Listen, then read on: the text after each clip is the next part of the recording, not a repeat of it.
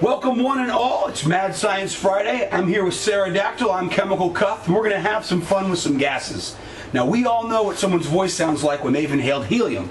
You see, helium is much, much lighter than air. So when you speak after you've inhaled helium, the actual vibrations of your sound travel faster through the less dense gas. This gives you the impression that your voice is very, very high pitched. This is sulfur hexafluoride gas, however, which is much denser than the air. So it's the opposite of helium. It's going to slow down the vibration and make, well, let's see what happens. You ready to do this? All right. Luke, I am your father. This is my voice on sulfur hexafluoride. It's science.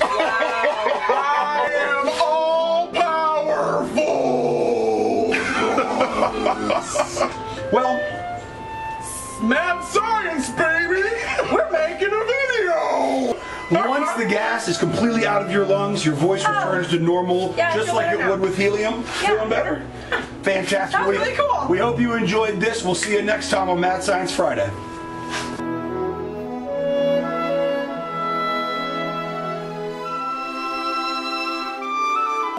This is my voice on sulfur hexafluoride. It's science.